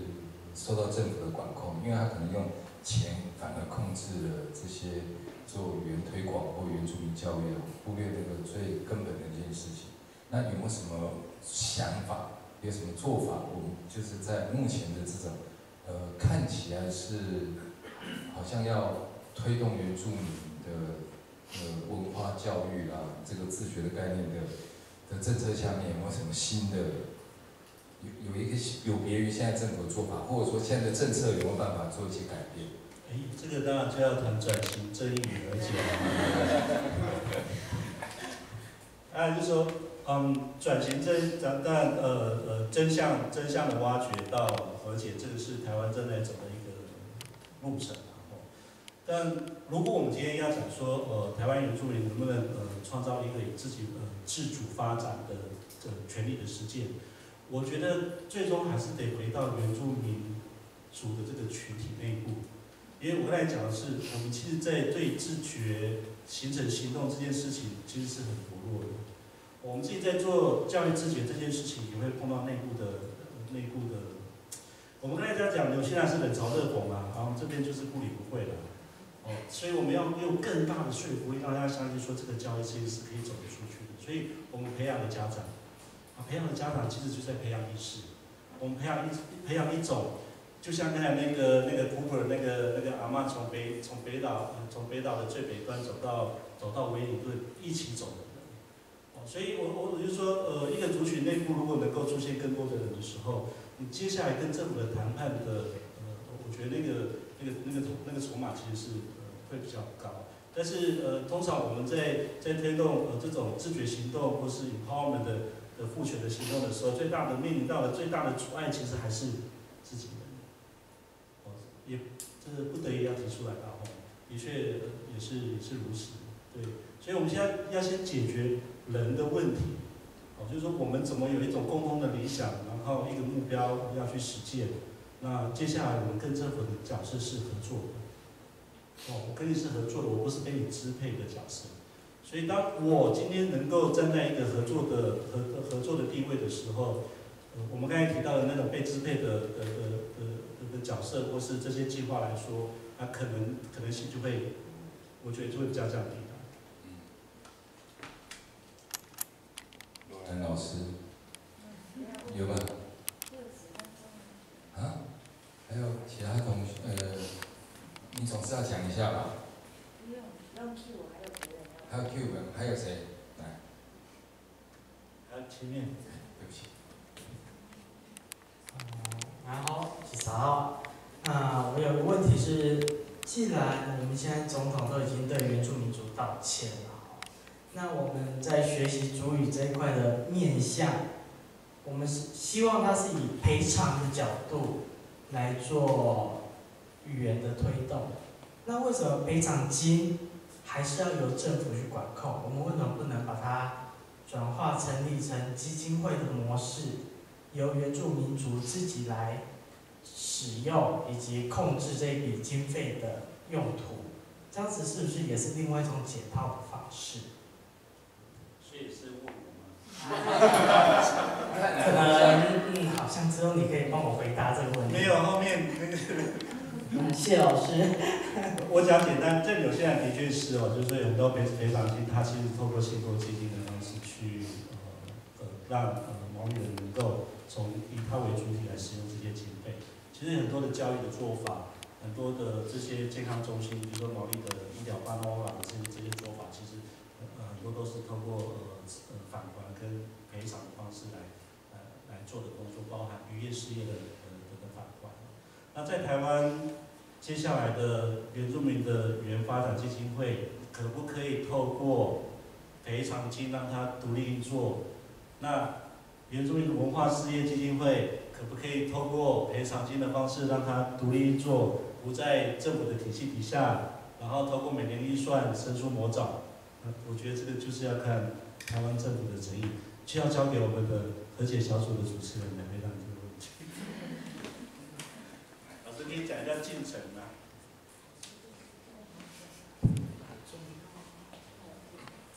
那我今天代表我自己跟何姐，本来不然何姐这个这个顾问在这边。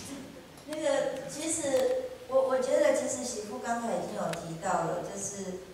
人的问题。那我们其实现在是在走的一个自我建构、自我节制的状态，包含我们在提教育的时候，这两年来其实面临到的阿美族的家长就会说，我们要进来嘛，我们会不会有竞争力？包含学主语现在都是这样子的，对不对？那所以现在刚才在讲的就是说，假设假设我们现在开始有成立基金，第一个观点是我们在管理的机制上面会怎么样？那纽西兰他们可以做到这样，是因为他的解职的从这一块自我建构、自觉的那个已经走一段了。然后，所以当他在做教育的时候，他的这三所大学，他其实是用 settlement 的方式在处理。他用赔偿金，但是他这个赔偿金并不是没有 money 的，他还是有成立，然后包含学历的认证，包含等等，他们是有一个特殊的认证的方式，但是是结合了部落跟结合的这些长老认为说毛利的价值体系要怎样，所以我只是说回来到台湾在想事情的时候，第一个像原住民义委们怎么看这些事情？因为我也相信，譬如说在原文会里面，小鬼之前在那边工作，都被人家讲基金会既然是独立的，但是因为它预算来自中央，中央里面立法委员有权利去做咨询，咨询了之后就做冷冻，冷冻完了之后就没了，然后大家就媒体怎么独立？那这件事情也是包含到了语言有基金会的时候，这件事情要怎么做？啊，回归回归回到到最后是，如果我们内部都没有先解决这些事情的时候，今天喊赔偿是应该赔偿，今天喊我们需要自觉权，我们教育要帮助都可以做得到，但是问题它的后果就是什么？这是我们大家要共同来承担。所以媳妇跟我我们我们现在是把它当成是说这是一个运动在做，教育是本身是一个运动。那我们只能讲说，我们是当宣传的、宣讲的方式这样子，因为和解要先跟自己和解，然后很多美美嘎嘎的事情都不适宜在用喊的，喊了半天之后，我们其实没有半个人可以去做这件事情。我必须要很含蓄的讲啊。我们在你的我们在你的韩语里面听到尖锐啊。我们最后接下来还有最后的问题，好不好？好，那我们就最后一点时间呢，交给我们四位哦，再用一分钟啊说的。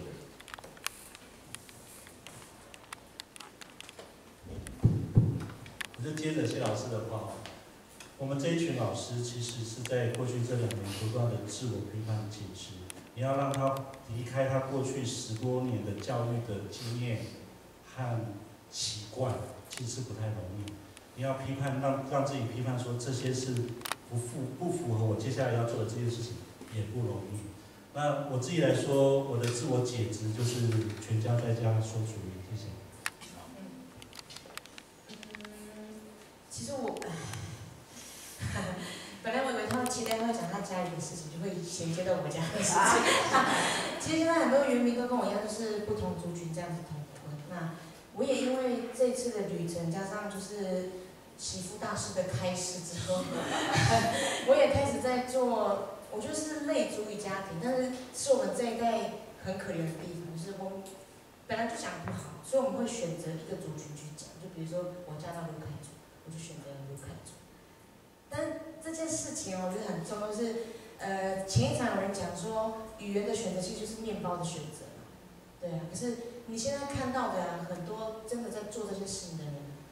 他们根本就没有在想面包那件，什么是面包，就是做就对了，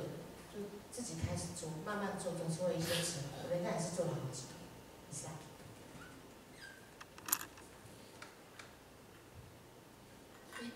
哭了，因为我正在回想说，呃，因为我刚刚前前接比穗姐讲的，就是我自己也是比穗姐，比穗姐讲的，就是我自己也是失语的一代。那失语的一代要怎么样让下一代在找回自己的语言？学校很重要，环境很重要。那呃，就像我刚刚讲的，第一个，当第一语言现在已经退位到至少第三语言的时候，我们要怎么样去做这件事情？那上一场分享的时候讲的有点激动，那今天还好我没有提到这个。那怎么样让嗯，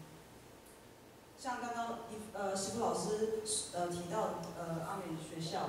件事情，那其实我观察到的现象是，这些呃虽然大家呃很努力的环境之下，但是这这样的课程还是必须安插在，呃，不是正轨的学习里面，不是在第一学期、第二学期，是在第三学期。大家在正轨的两个学习里面，大家要找寒暑假的时间。那我想未来，呃，画一个蓝图吧，把第三语言至少推到，呃，至少升到第二语言。那把这样子的文化学习的课程放在必修课程里面，第一学期、第二学、第二学期里面，那应该就是。一个远景。嗯，好，我我不是失语的那一代，所以可是我我想要另外一个角度看看，就是我我相信，即便不是失语的那一位，但是我觉得在座应该很多人想要成为参与的那一位，所以我觉得，嗯，我我自己会认为，就是当你开口说你愿意去学习的时候，就是一种尊重的态度，然后。我觉得或许我们没有办法用太激烈的态度去对抗，不管是不是截止或是这个政府的体制，因为那是那是一段非常长的路。可是我，嗯，我自己会认为，当你开口说的时候，就是在执行一种柔性战的开始。对，所以我觉得，其实当你就是，我觉得台湾需要更多这样子的彼此尊重，才是真正的多元。然后我觉得，当你开口说，其实就是像老师讲，就是一种和解的行动。要讲一下和解，对，所以我觉得这是我自己的认为，因为我认为文化本来就是一种柔性战，但是一定要每个人都共同参与，才有办法去改变，不管即便是小小的影响都是好事。这样，谢谢。好，谢谢。不过我们刚刚讲和解的时候嘛，如果要跟自我和解，前提是对自我有怨恨，啊，所以对自己有恨，然后自己有一颗你看不见的恨，甚至去发掘到自己对自己的怨恨，不喜欢自己的部分。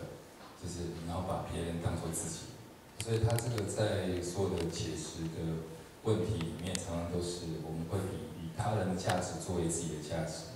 然后甚至没有自己的价值，甚至要去寻找自己的价值，那个自己的价值也其实不知道在哪里。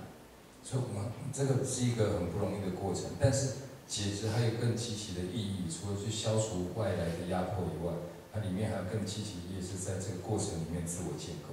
因为自我建构是不在不断在在时间的绵延之中哦，有一个新的自我跟主体出来。因为当我们在谈呃台湾很多谈解职的时候，我们可能不见得有过去，但是我们一定会有未来。我们先先到这里，然后大家欢迎大家继续留在这里，然后彼此交换一下。我们十点才能要离开，然后彼此可以做对时差哈。非常谢谢大家来今天哲约飞星球，明天晚上七点半见。